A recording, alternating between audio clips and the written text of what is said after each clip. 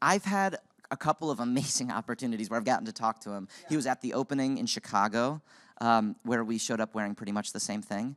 Um, which was incredible. Which was incredible, uh, and we had a great conversation there. He's been so supportive and really friendly. I got to talk with him at opening night on Broadway, which was super cool. Um, letting him know that I watch Rick and Morty every morning, uh, and um, and I, one of the coolest things was that I, I went to LA uh, a year ago.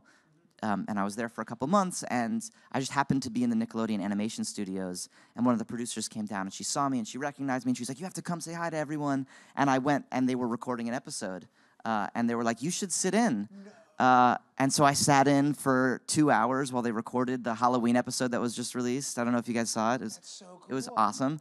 Um, and I got to hang out with the cast, and uh, it was like it was a total dream come true, amongst another dream come true. It was like crazy. It was an Inception dream come true.